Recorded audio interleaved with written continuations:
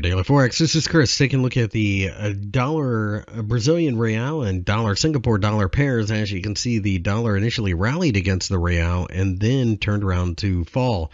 The 4.8 level looks to be massive resistance, forming a shooting star that suggests that we are in fact going to try to get back to the bottom again.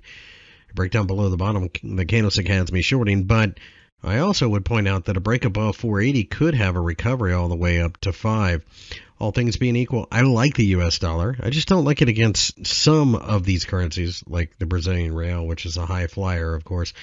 Dollar Sing, um, Singapore dollar did fight back a little bit here at 136 and a half.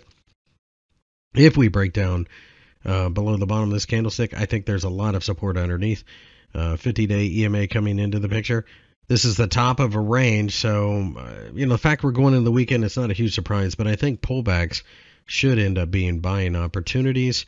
Um, that being said, 136.50 seems to be an area of barriers.